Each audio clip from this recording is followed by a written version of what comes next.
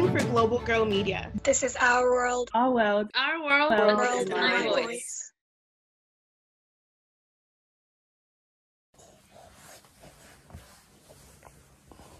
Today is April 27th, Sunday morning.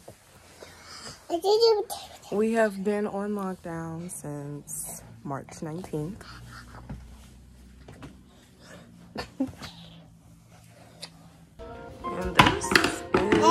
Jade. She is 18 months old and loves the camera. Jade normally goes to daycare Monday through Friday from 7 to, I want to say 4 o'clock. Jay wakes me up from either 7.30 to 8.30 in the morning. Um, we'll get up, eat, take a bath, take a shower, watch a movie. So, how has social distancing affected you? Bye. Mom! Yes. Excuse me. Can you get back in the chair, sweetie?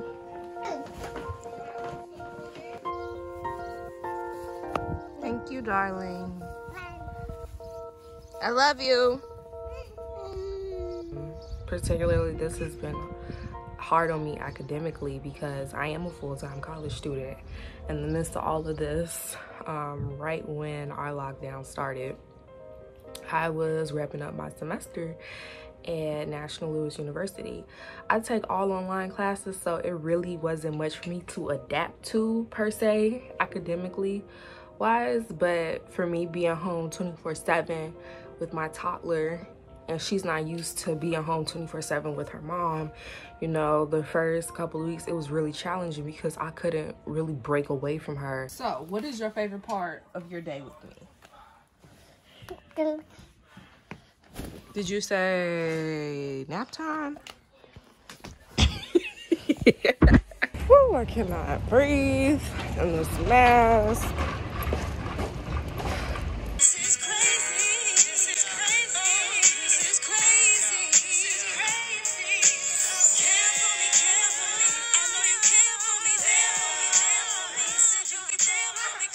I need a break. I love my child. I love my child. There's no buts. But for me to be an amazing mom, I need some self-care. I need time to myself.